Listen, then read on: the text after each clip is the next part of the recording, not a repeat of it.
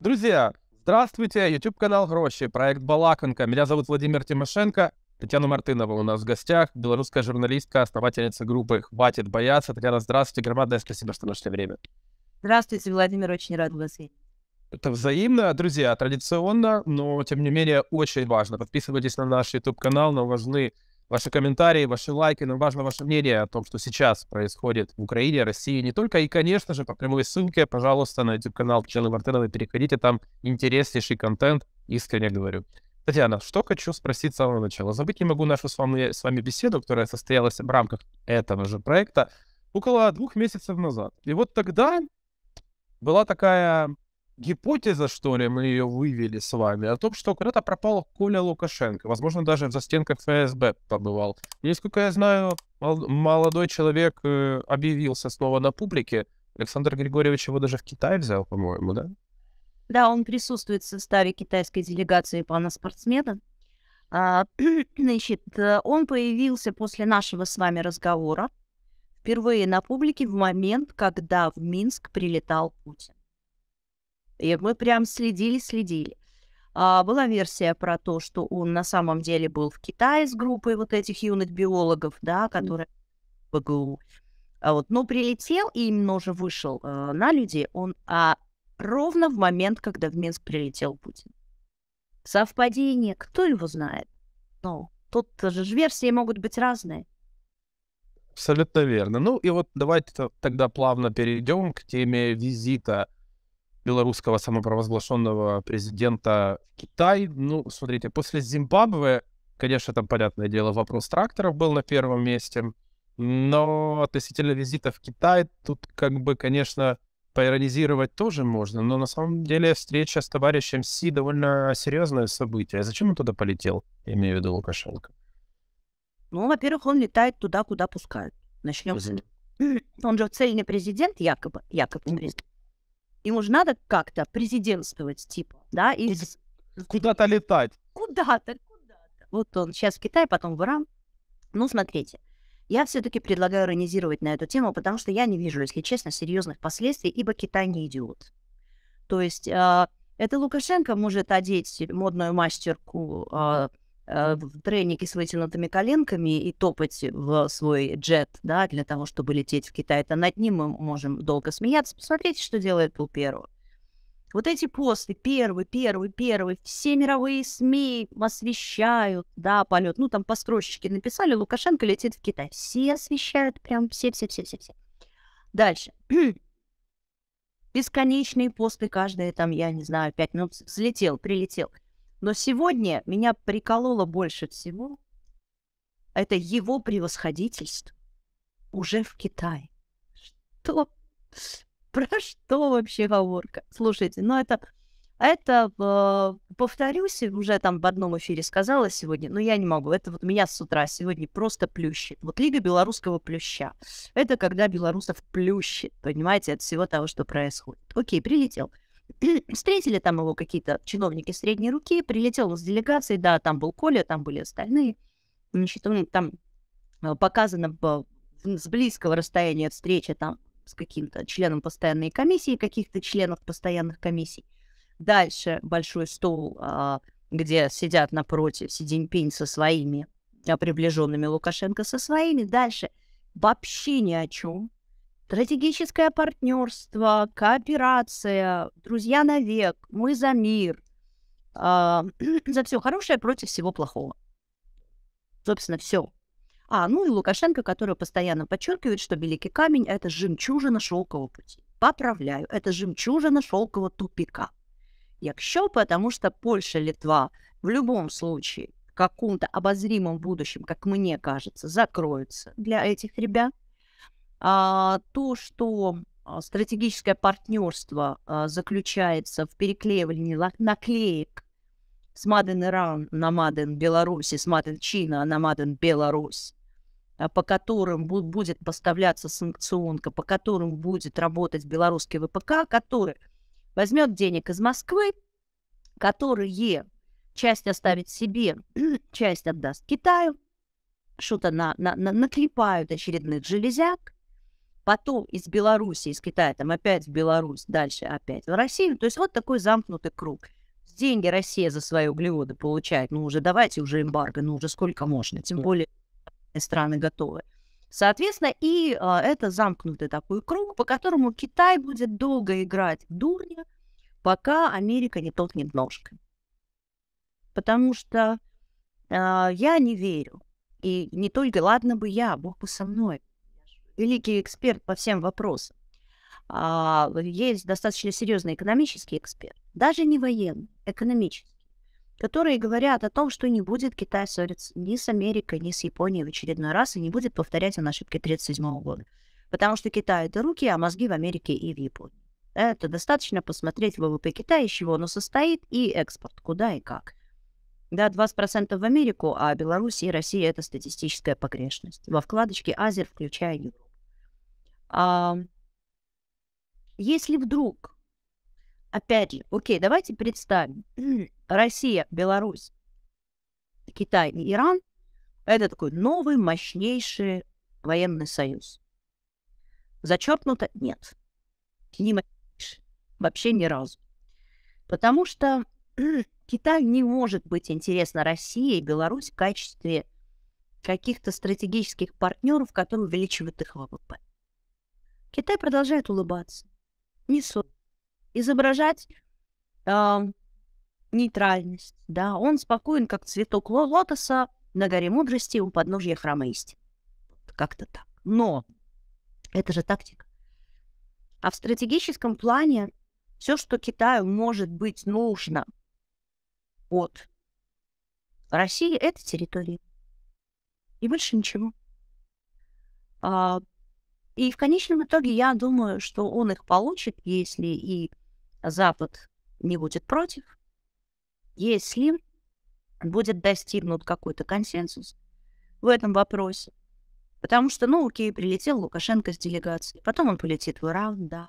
А потом в Китай поедут Урсула фон де Ляйер, там какой-нибудь Жозеп Борей. Например. А, да, и эм, мы еще не знаем, чем закончатся эти разговоры. Мне, конечно, не понравилось, как и всем, что перед тем, как опубликовать свой мирный план, Китай, э, китайский МИД сделал достаточно резкие заявления в сторону США, как э, кузницы всех войн там, да, и так далее. Но, а кто вам сказал, что это не ловушка для России? Никто не сказал, такой вариант возможен, конечно. Абсолютно. Ведь смотрите, то, что Бог на стороне Украины, я сказала в октябре, и я сказала буквально следующее. Значит, Бог на стороне Украины, якщо он есть. А даже если нет, ссориться заранее не надо.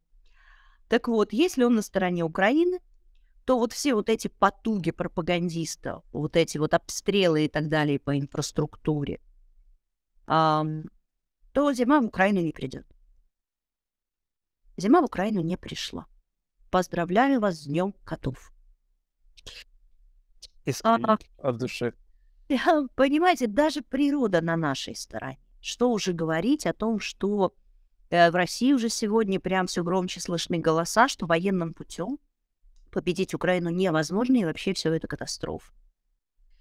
Очень много параллелей, естественно, со Второй мировой, но все они э, сегодня с учетом транспарентности пространства не точны по одной простой причине, потому что гораздо больше информации моментально распространяется, и люди понимают, что происходит. Да, безусловно, этим пользуются и псошники всех мастей, люди, которые там занимаются информационными а, специальными психологическими операциями. Но срок жизни ИПСО минимален. Именно такой вот, да. А таких серьезных эпсошников, которые работают в долг, ну, я вижу, что уровень а, российских очень низок. Они меняют а, свою риторику там раз в два месяца. У них нет аргументов. У них как бы вот это их все идет по плану, потом не по плану. С завоевания а, Украины а, от там, как там, НАТО шоу на этом да -да. 97 -го года, тут построились, тут это. а, через год войны у нас ставятся средства ПВО, да, везде, где можно, включая крышу Кремля, сохранить Россию от развала. Риторика поменялась вообще полностью. Это по факту. И все кричат «Гага, Гага, Гага», да, мы всем будем там. Вот и все, что они могут. Это как я сравниваю все время Путина с, с эксгибиционистом, да, который открывает плащ, а там ничего. А до этого кричал, так стонал, так как там, а как дышал, как дышал. Ну вот все, да, дышался, ничего не мог. А Лукашенко в этом смысле ничем совершенно не отличается. Просто он более хитрый, потому что Путин достаточно долго сидел в бункере и э, пере, как это, переоценил вообще, да, на фоне своего маразма, психопатии, всего возможностей, не только своей, но и Российской Федерации в целом. А Лукашенко, он такой парень хитрый. Он сначала посмотрит, что там в дворовой драке, да, в соседнем квартале, а, сначала как бы тот, который казался таким качком, он его поддержит, а потом, когда выяснится, что большой шкаф хорошо падает, он сразу опять убегает в мирные соглашения. Поэтому, а, но Лукашенко тоже не нужен этому миру. Беларусь под Лукашенко этому миру не нужна. И когда меня спрашивают, что Беларусь может дать миру, типа, да, я не всегда нахожу сразу ответы, мне надо подумать, потому что в зависимости от того, что происходит в Беларуси, в зависимости от того, в какой момент времени мы с вами раз, разговариваем, да, Беларусь может дать, прямо скажем, а, разное. Но сейчас вопрос стоит не в том даже, что Беларусь может дать миру, а чего она не должна не дать. Я вас услышал, да. должна не дать Лукашенко и центр э, в Европе, да, между севером, западом, востоком, югом, в смысле севером, югом, востоком, западом, нестабильности и обезьяны с гранатой, которая сегодня говорит завтра послезавтра другое, а мы имеем шоссе для танков в направлении и Украины, и Польши, и Литвы. А, соответственно, мы не, и эти страны не имеют достаточного плеча безопасности. И это никому не надо. Татьяна, а скажите, пожалуйста, я плавно переведу. Ну, во-первых, я не могу не не отметить две прекрасные аллегории. Это про эксгибициониста и замечательная аллегория про чем громче шкаф, тем гром... чем больше шкаф, тем больше падает. Э, зам... Замечательная боксерская поговорка, очень актуальная. Спасибо. Это на самом деле так, и очень такая умная мысль. А скажите, пожалуйста, немножко изменю вектор разговора. Я на самом деле очень рад, что мы общаемся именно сегодня, уже когда прошло время после того, что случилось э, на аэродроме Мачулище, знаете, можно немножко проанализировать, как говорится, не по горячим следам, а некий анализ сделать. Скажите, пожалуйста, это серьезный был переполох лично для Лукашенко, то, что произошло? Я думаю, да. А, был прекрасный белорусский мемасик, где очень грустно задумчивый Лукашенко, и а, значит, надпись «Твое лицо», когда ты понимаешь, что ПВО над твоим дворцом независимости аэродромом Мачулище — это одно и то же ПВО. Прекрасный разбор был у Светана по поводу, uh-huh. каким образом был уничтожен этот А-50 Switchblade с характеристиками Switchblade, как он летает. Вообще Светан один из моих любимейших военных экспертов, скажу вам честно. И э, практически невозможно его увидеть средствами ПВО. Более того, там же и дальность такая, ну вот конкретно это, вот всего 10 километров. То есть нормально как-то э, пришел, выстрелил, быстренько отошел и все. Я, конечно, по этому поводу, когда только случилось, пошутила, потому что есть же еще и боевые гуси, вы же не забудьте. Да, естественно. И утки, вот поэтому. Но, но, Понятно, что это дело профессионалов. Но мы с вами, ну, просто обязаны сказать, что это белорусский И даже если это белорусские, вернее, не так, а если это белорусские партизаны действительно, ну, то я снимаю шляпу и понимаю, что они работают уже не просто сами по себе, а с очень серьезными инструкторами, каналами поставки, же понимаете, что не, не, не все. И тогда, ну просто это слишком хорошо, чтобы быть правдой, да? Поэтому Тем не менее. Аккуратненько в это верю. Но если это так, то, естественно, я аплодирую стоя, а Лукашенко памперс уже больше не снимет никогда. А здесь и последует какая-нибудь повторочка. Не просто так он собрал пятерых приближенных, самых главных своих пять министров, да, все ведомства, начиная от пограничников и заканчивая КГБ, и сказал жесточайше всех найти срочно, и там уже какой-то ищет, разыскивает Крыма.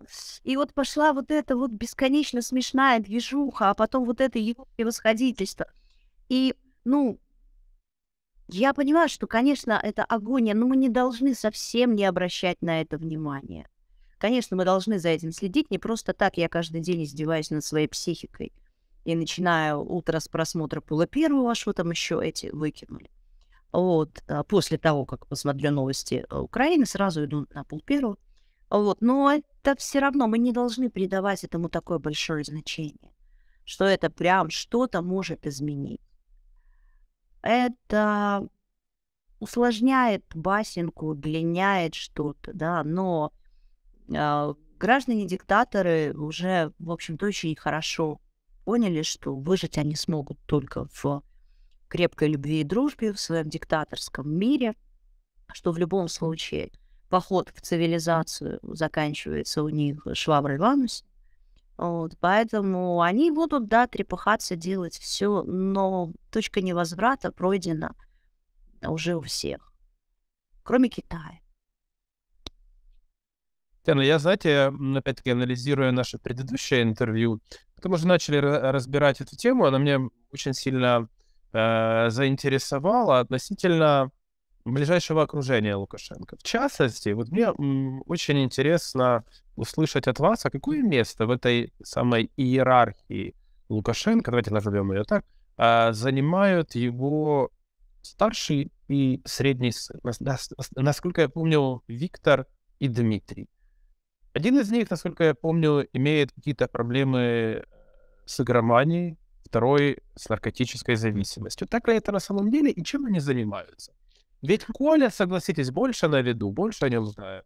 А об этих э, людях как-то как-то не особо. Вот расскажите, пожалуйста. Они на самом деле приближены к вопросам преступлений, скажем так, к своему отцу. Ну, смотрите, если это кому-то интересно, то могу и об этом поговорить. Понятно, что Коленька любимый сын, да, а эти всю жизнь отгребали пендали, потому что Виктор это игроман, действительно. Скачки его любимая история. Вот, чтобы вы понимали, ставка Вити на скачках в Эмиратах может быть там 5 миллионов долларов. Туда-сюда, правда? А Дима наркоман и алкоголик. А, он а, в свое время там получил а, в свои руки вот это спорт-лото, там спорт-пари, ой, поджимали все, что можно, выкинули все остальные лотереи с рынка. А, и а, Дима как раз-таки в этом смысле наименьшее зло, потому что Дима, он такой, он, он очень далек от всего от этого. Витя а, стабильный последователь Северной Кореи, это всегда так было, это было еще в начале 2000 Витя тот еще отморозок. Вот. А, причем он реальный отморозок. Вот, чтобы так, без иллюзий. А, когда-то даже была такая газета «Наша воля», по-моему, она называлась. Очень давно, она очень давно закрыта. И в одном из выпусков тоже, это 90-е, 90-е там только начало, когда вся эта а, негодяйская семейка приходила к власти. А, было даже а, происшествие, когда там Витя был обвинен в изнасиловании. Там ну, какой-то этой самой. В общем, там мерзости хватает. То, что касается Коли, э, Витя с Димой, я так э, помню, Колю дико ненавидели страшным образом. У них такая взаимная нелюбовь. Вот Лукашенко, в общем-то, интересует, скорее всего, судьба только Коли, любит он только его, если вообще этот человек способен кого-то любить. А влияние на данный момент Я не могу сказать, какое. Когда-то было несколько групп влияния, включая группу Макея. И одно из э, наибольших влияний имела группа Макея, но это осталось в прошлом. Витя — это такая больше коллаба э, с Шейманом. Тоже, так сказать, э, определенная. А, человек, насовершавший уже преступлений, в том числе он же тоже был задействован э, вот в этих всех политических убийствах, которые происходили в конце 90-х, начало 2000-х. Вот. Там есть определенная причастность к семейной кассе, потому что, насколько я знаю, э, жена Виктора Лилия, кажется, ее зовут, она один из, так сказать, главбухов всех, всего наворованного семьей Лукашенко за эти десятилетия.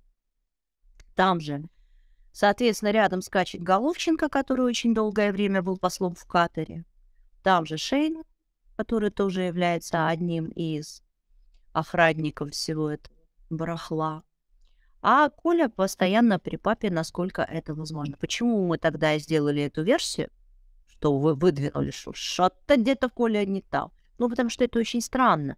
Ведь вы не забудьте, а сейчас в этой ситуации безопасность Лукашенко группа безопасности, ответственные за безопасность, они все на измене, включая Лукашенко. Он даже в Зимбабву брал вообще всех. Всех детей, Колю, а даже маму Коли Ирину Абельскую. Он туда всех привез.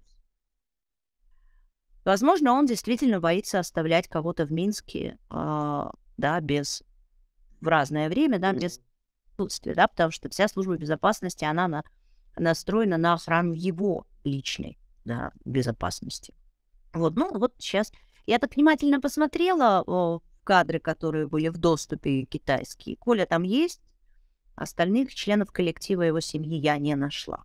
Ну, может быть, они остались за кадром, потому что и Абельскую это мы нашли только потому, что зимбабвийская а, пресса а, оппозиционная, она опубликовала вот эти кадры, потому что на поле первого этого нет. А Абельская, она сейчас э, вообще кто? Кроме того, что мама, мама Коля. У нее такая хорошая, богатая жизнь э, в Беларуси, правильно понимаю? Я думаю, что состоятельная достаточно. Потом она же была там какие-то должности в Минздраве. Да-да. Она была в полной опале, потом ее опять вернули, были даже совместные фотки с Коленькой. В общем, суть, суть в чем? Я так думаю, что все-таки она мама. И давайте мы не будем забывать международное право, где есть наследование прав. Апельская же не совершала никаких преступлений. Возможно, возможно, мы же помним, что в той же Зимбабве у нас есть у этого а, Лукашенко интересы и по золоту, и по алмазам, и по торговле оружием через Зенгмана. Да, тракторы это так себе. Что такое тысяча трактор? Там еще неизвестно, какой срок оплаты. Надо было разгрузить параллельно склад МТЗ. Вот разгрузил. Хозяйственник, заботится, молодец. Вот. А, и поэтому не, не факт, что там не были проведены какие-то сделки по оформлению чего-нибудь на кого-нибудь, например, на Абельскую, которая никогда не являлась там его женой официально или еще чем-то, членом семьи. Якщо санкции, ну так а при чем тут Абельская? В чем ее преступление? Что она Колю родила? Это не преступление, и вам ни один цивилизованный человек не скажет. Там еще надо будет 10 лет доказывать, что на нее оформлены активы. То есть это же нам с вами кажется, или вот даже не вам, мне, когда мы все это знаем, все эти годы. А от, отойдем через 3-4 границы, доберемся до Брюсселя, и что? Там что-нибудь такое на стол положено, говорит, что вы хотите от женщины? Она уже настрадалась. До свидания. Факт. Скажите, пожалуйста, Татьяна, хочу затронуть такую тему. Знаете, в, то, как в Российской Федерации, именно там, уничтожалась э, свобода слова, появлялись пропагандисты, которые там, давайте прямо называть вещи своими именами, работали на Кремль, но об этом сейчас знает весь мир, это стало притчей во языце. Тема того, как убивалась свобода слова в Беларуси, почему-то, ну, как-то это не так поднимается. Вы бы не могли мне немножко нашим зрителям рассказать вообще сам процесс придушения свободы слова именно в Беларуси, как это происходило? Э, вот я сейчас прямо вот вспомнил, да, Павел Шеремет, все помнят его страшный финал, который был э, в Украине. А ведь на самом деле белорусский этап его жизни, он тоже был, мягко говоря, очень очень непростым. И сейчас, насколько я знаю, появляется и уже появилась целая плеяда пропагандистов в Беларуси. Одним словом, расскажите, пожалуйста, как предусмотрено, возможно, такой пафос покажется, но тем не менее, как придушалась свобода слова именно в Беларуси? Точно так же, как э, душится свобода слова, у нее всегда есть один и тот же, скажем так, алгоритм. А, первое – это уничтожение того, что вы можете уничтожить путем а, посадки владельцев, да, каких-то, что у нас за, за закрытием невозможности печатать. Вот у нас так уничтожалась газета «Имя», белорусская деловая газета. Потом, значит, они уходили в интернет. Потом сажались в владельцы. Кому-то приходилось уезжать. То есть так же, как и в 2020 году, только масштаб был поменьше, потому что в 2020 году уничтожили вообще все. Ведь все равно и Запад пытался помогать Беларуси, да, и все равно появлялись люди, которые по-хитрому, даже в условиях того, что а, уничтожили од- одну оппозиционную газету, вторую, портал, еще выезжают, продолжают вести, какая-то аудитория остается. А потом появился, например, который очень долгое время очень аккуратно работал Тутбай. Они же до 2020 года продержались. Если мы берем 6 миллионов белорусов 18+, а 3,7 миллиона ежедневно посещали сайт Тутбай и читали новости. Причем это было такое... Э, знаете, что я думаю? Почему мы окончательно не вымерли?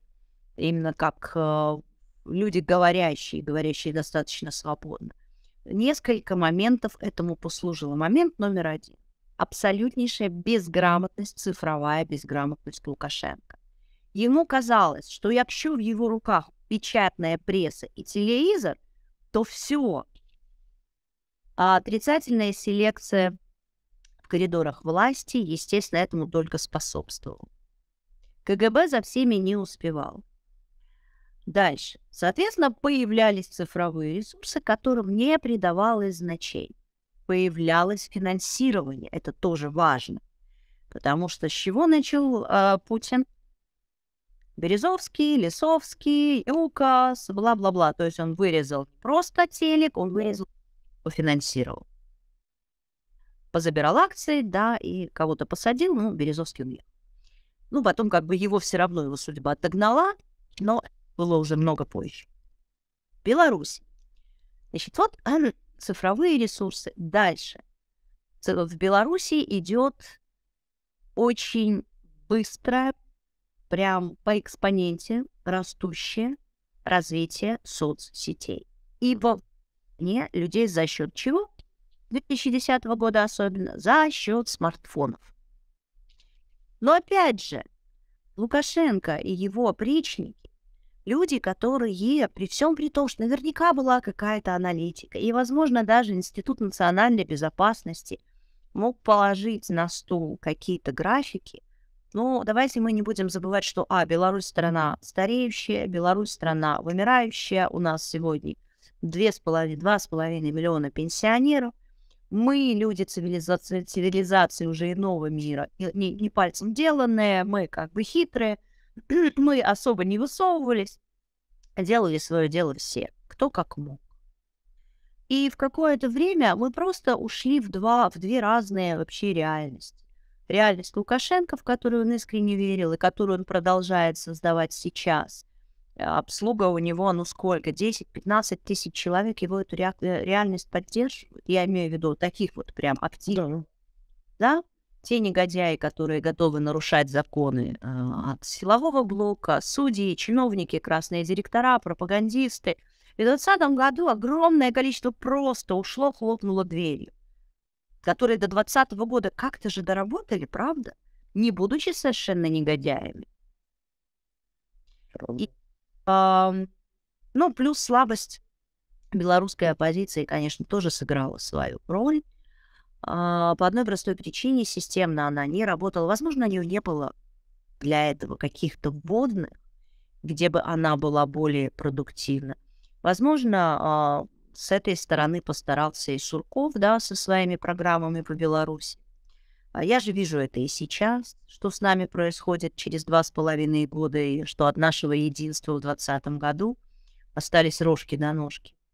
Вот. А, но, тем не менее, это же не отменяет вменяемых людей, которые работали и в нулевых, и в десятых, да, плюс, и в двадцатом, которые работают, э, исходя из основного запроса белорусского гражданского общества в двадцатом году, а запрос этот был на центризм. К сожалению, нам не рассказали, что наш запрос европейский, а не российский. Российская пропаганда нас все время выставляла такими вот недорусскими. Да. И а, многие на это дело велись. А так как мы, белорусы, мирные люди, нас все любили, мы же такие котики, у нас лапки, поэтому сегодня наш день, день котов. Вот. И а, нам так непривычно вдруг стало для нас, что мы, оказывается, не просто миролюбивые такие, а мы, оказывается, боягузы, предатели, причем всех, и нас вот втягивают вот в это. Да. И здесь нам самое главное в этот момент вспоминать, что невзирая на то, что свобода слова прессы уничтожалась, оно все равно было, и оно развивалось до 2020 года. В 2020 году нас было больше, подонков было не так много, просто они пошли на крайние меры, захватили власть и у них ключи от оружейной комнаты. И не надо нас сейчас переубеждать, что нас не было и нас меньшинство, как это делалось все эти годы.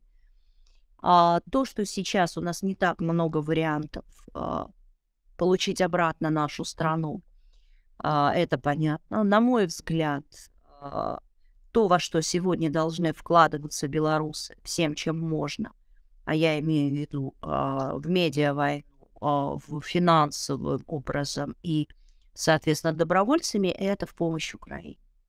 Потому что, честно, а, мы Украине, в общем-то, на данный момент особо без надобности. А ей и так помогает весь мир.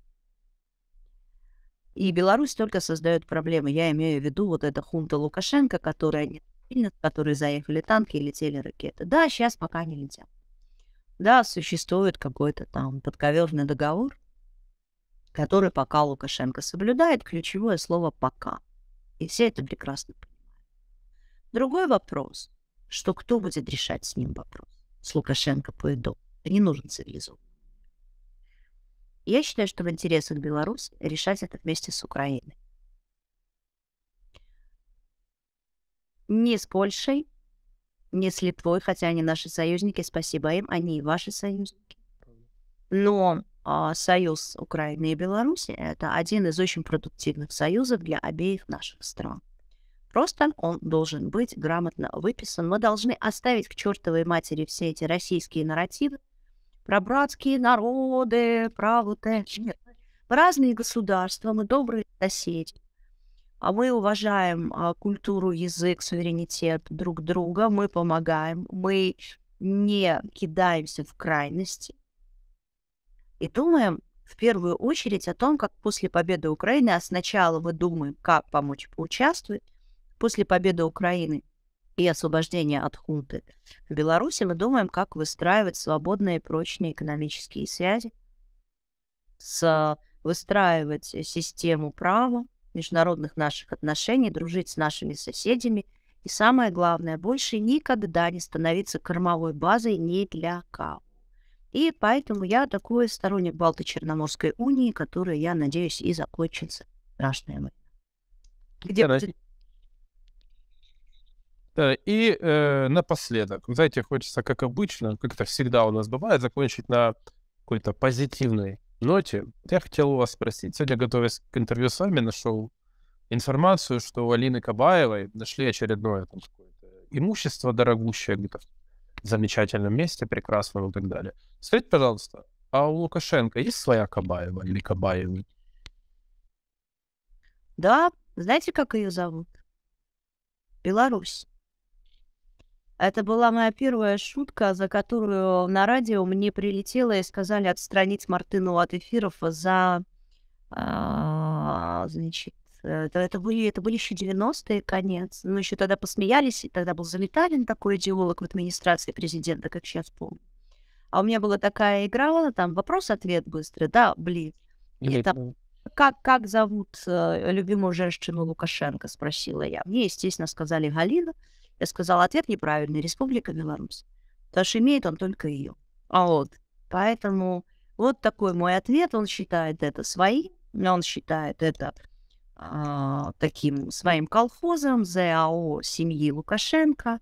А он настроен править всегда, он все будет для этого делать. И наша задача, в том числе и людей, которые до сих пор, назвав его его превосходительство, не понимают, что на, на самом деле они все стали его подтирательством.